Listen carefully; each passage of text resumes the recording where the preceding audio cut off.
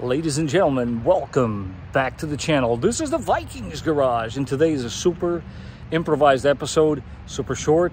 I'm doing this on my lunch break, but I think you can agree with me that for the longtime viewers, you probably might have seen that I've tried to buy this car in the past and I didn't do it, but this was way too good not to share with you guys.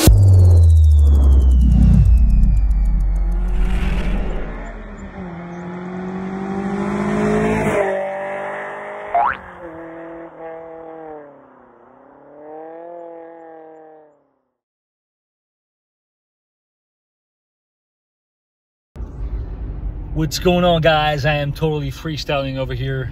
At first, I said to myself, you know, I'm not going to record myself again before going to look at a car because I feel like it's bad karma. But in the same token, I also want to document the journey, right? That's what it's all about, anyways. So, obviously, I'm not going to reveal what car it is because I want you guys to watch uh, a little more of the video. But uh, let's just say I have been chasing this car for about two years and uh, yeah, COVID hit, and the rest is history. You guys know how that goes. Uh, car prices went through the roof, and people just went bananas. But I think, fingers crossed, if everything goes well, we're gonna get ourselves a new car for the channel today. Well, guys, I knew it. I shouldn't have recorded it. This is definitely not to be the car Uh, let me show you guys what I was actually looking at. First, I'm going to tell you guys why I'm not getting it. And then I'll show you the, the car. I guess the search continues. What a bummer. All right, so that should be a telltale sign of what we're looking at here today. But let me just show you what I did find. You open this trunk. First of all, the smell is overwhelming. And why are we having the floor showing over there? Not to mention, when you look underneath the carriage there on these corners, they are rotting right through. Look at this side. This side is even worse, man. But this is, I mean, everything is here, but the toolkit, which we all know is actually pretty pricey. Let me get my glasses before I smash them up. But this is actually the reason why I'm not gonna buy it. One reason, this is probably needs addressing, so you can't even use the sunroof, but this is the deal breaker for me. I do not want more rusty cars. I can deal with this. I can totally deal with this. That's That wasn't even a problem to me. But I have a problem with this. This I have a problem. Like, come on, man. I just cannot catch a break. Am I being too picky, guys? What do you think? Yes, a couple of dents here and there, but for the price I was about to pay for this, I just cannot do it. I'm not going to do it. I do not want one of these with rust in it. I mean, look at the fender. It's just, again, these are things that can be addressed. It's totally not a big deal. But come on, rust? I don't want more rust. Yep. Sorry, guys. Not leading you guys on, but at least now you guys know what I'm chasing. Oh, yeah. And for those uh, that are curious, let me show you the mileage, actually. I mean, the seats it's kind of a given. This is pretty typical. I mean, look at this one. That should be a dead giveaway how much he's actually trying to get for this car, but yeah, pretty low mileage, man. But other than this, there's like all sorts of cosmetic stuff going on here that, I mean, it is what it is, but I know I'm not buying a perfect specimen, but the problem is that's what led me to look at the roof there is that I started seeing these stains. I hope this is like informative to some of you guys. If you see stains in your headliner, that's a telltale sign that something's definitely wrong. See, there's another little piece missing there. I mean, for what he's asking though, I'm gonna have to walk away. Not to mention, maybe somebody in the comment section can tell me, is it me? Am I overreacting or that temperature looks a little on the high side? This does not look normal to me. Let me know in the comments down below, but eh, that's it, guys. I'm going to have to walk away from this one. I got to say, though, see, this one's a little hard to. I didn't like the fact that this one didn't have uh, heated seats, wooden steering wheel. The wooden steering wheel, I could always get it uh, easily, but the fact that it didn't have The heated seats, I, I, I didn't like that. The um, cup holder does work sometimes. Yeah, when it feels like it. Come on. No, it doesn't want to work. Isn't that something? Well, last time I looked at this car, it worked with me.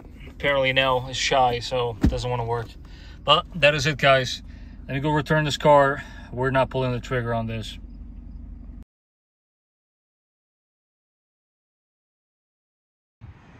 So there you have it, guys. It was way too cool not to share with everybody. As I'm sure some of you know, I was chasing one of these. This was supposed to be the very first V8 I was going to buy, but my wife, rightfully so, convinced me to direct my funds elsewhere. Zoomed in the wrong way. But, boy, what a machine.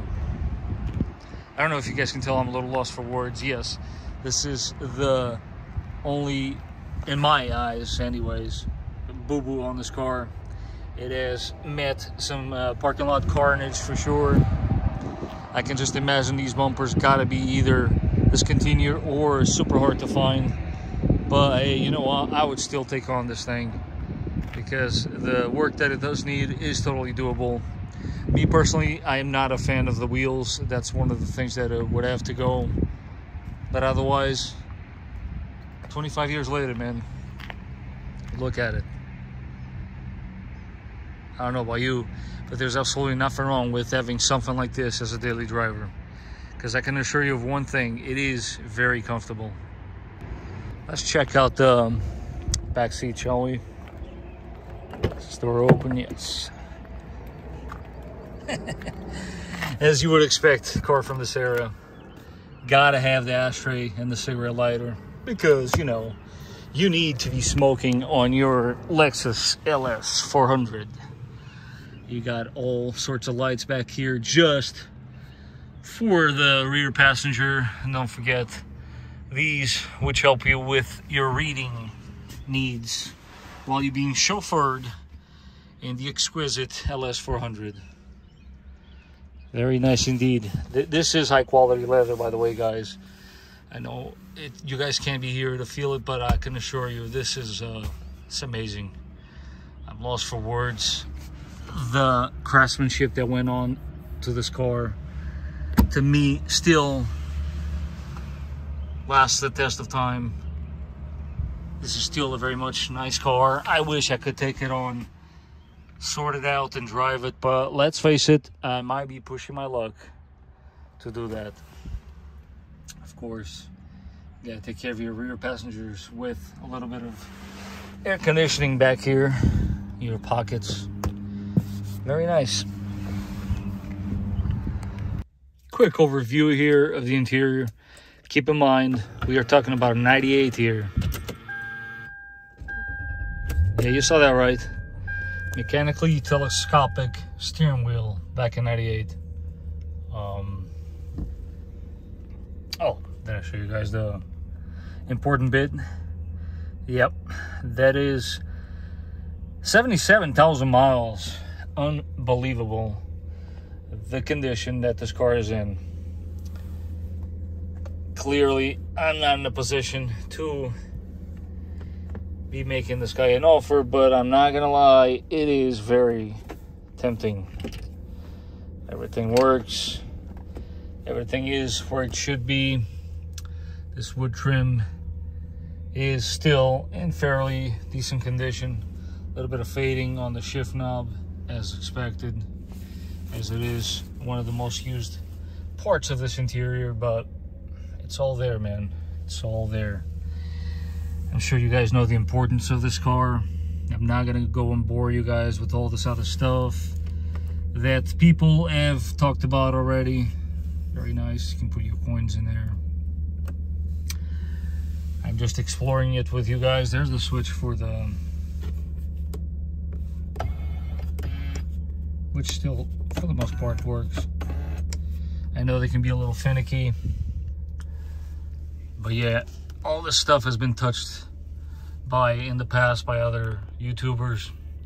I just couldn't pass up on the opportunity to share with you guys because to me, This is kind of like the one that got away.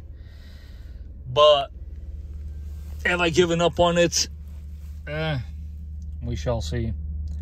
So yeah, pretty cool. Again, I'm sure you guys know what this switch is. I'll show you in action.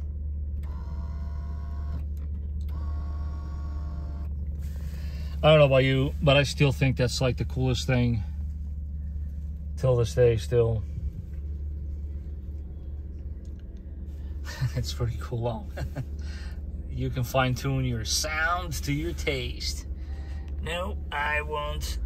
The fader over there. Actually, I should have put this back where I found it because they might actually care. Oops. Center armrest here. Not too bad. Power outlet over there. Really cool.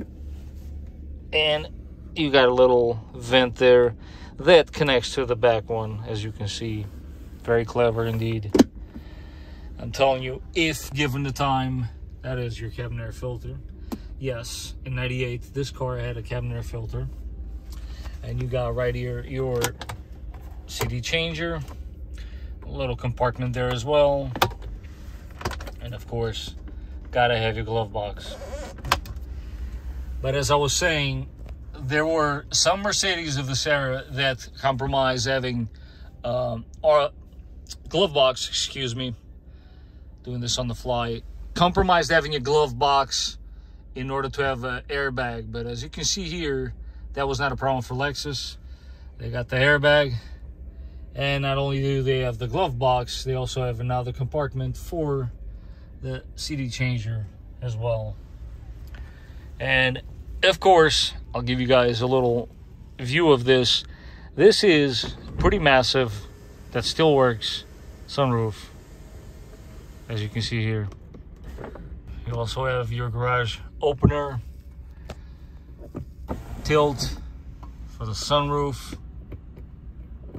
Yeah, this is very cool, man. Again, this kind of stuff back in 98. Just keep that in mind. And would you look at that? Lumbar and all sorts of adjustment for your seat, which by the way, 25 years later, this still looks very much pristine in my eyes. There's absolutely no rips, no tears, no crazy wear to report on a car that's 25 years old. And of course, car of this age. Yes, the struts for the hood are worn indeed. But this is the party piece right there. As I'm sure you guys know, well, look at that. I don't know if you guys see the smoke. So that smoke is actually uh, now they're a very common problem with these cars. And that would be your valve cover gaskets. It's basically dumping oil right on top of uh, the manifolds. So I'll, uh, perfect timing there to show you guys that. Uh, this car unfortunately has all of the typical issues of the LS400s. You know, leaking uh, power steering pump right on top of the alternator. So he does have a charging uh, problem, which is of course the alternator. He's gonna have to sort out the power steering pump and alternator at the same time. But listen, oh man, what a perfect candidate this is. This uh, one UZFE is still very much smooth as it was 25 years ago when this car left the showroom. But again, it was too good not to share with you guys. Uh, these are, if I'm not mistaken, glass. Let's take a look. I'm not sure. No, feels like plastic. All right, so they're plastic headlights. It's not the end of the world. 25 years later, I don't know about you, but it still looks pretty good, right? All right, let's take a look at the trunk, shall we? because this one does have one thing that most of these have missing. Yes, you guessed it, your toolkit. Toolkit on these cars is oftentimes missing. It's all there. Let's put it back where it belongs. It's a shame that sometimes when you go look at one of these used, that is missing there's your emergency pull for of your gas tank there Pretty cool, very clever. Stays up there with the little Felt. Very nice. Speaking of which, this takes, you guessed it, premium unleaded gas.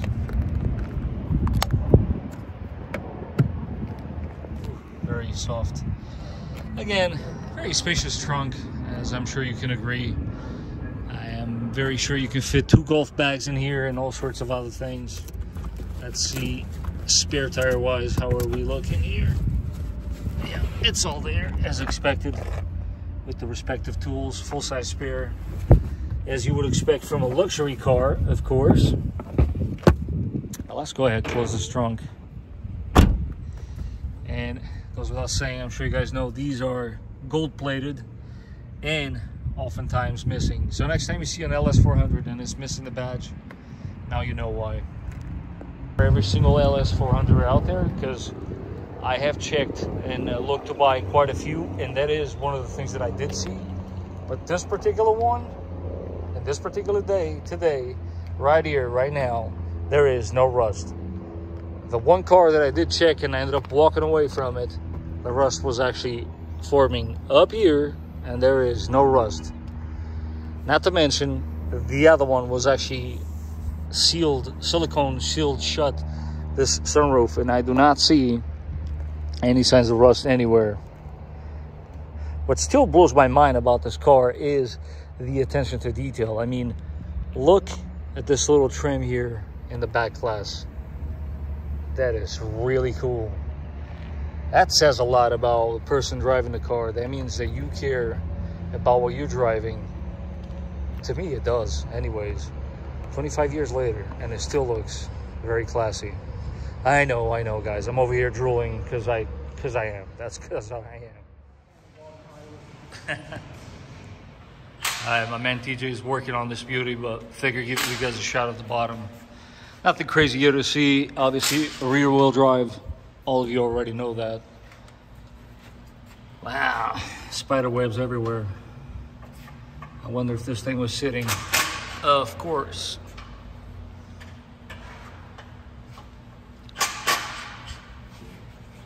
TJ sorting out a bunch of oil leaks. What do you think, TJ? Original exhaust? Oh yeah. Looks like it. I think it's original everything. Wow. Yeah, that's that's kind of the problem with this car. Let's see if that picks up on camera. There's a lot of this going on. But yeah, we are gonna take care of it, of course, and change some gaskets. But that's that. As I told you guys, you don't see much. I mean, yeah, this is surface rust, really. We're, what we're concerned with is the body here. That's what we are looking at, and I don't really see anything major as far as rust. Keep in mind, this is a 25-year-old car, but look at this kind of technology back in 98. I mean, that's crazy. Leveling sensor, huh? That's really cool. But there you have it.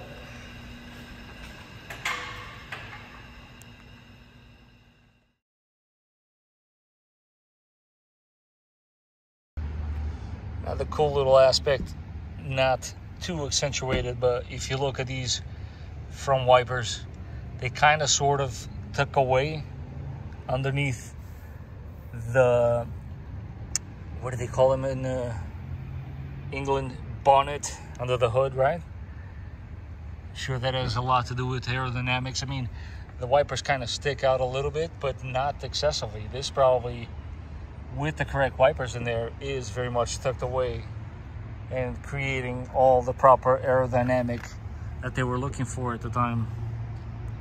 See how they tuck underneath? Really cool. Again, another super cool detail. Maybe somebody in the comment section can let us all know what's this all about. But how cool is this that the door, the gas door, is its own like um, backing to it. Of course, the spot to put the gas cap, pretty obvious.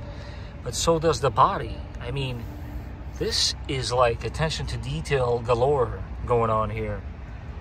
And something tells me with the engagement that this has, that this is probably supposed to sound like that or keep it quiet from rattling.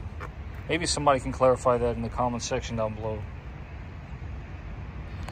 Here's another clever little detail. So, you want to unfrost your window, though you don't want to compromise the driver's ability to receive some of that air. Very easy solution. Let's just route it directly to the window. How about that? That's a super cool detail. A little child lock action here with this type of uh, engagement. Usually it's a little toggle type of switch up or down kind of thing. Super small and uh, with lacking of uh, detail, but look at that. Now in the LS400, they needed a super cool knob just for the child lock. Of course, you gotta have the outside temperature. When you drive an LS400, those things are important. And check that out. Three nozzles, baby, for the washer fluid because two just wouldn't be sufficient.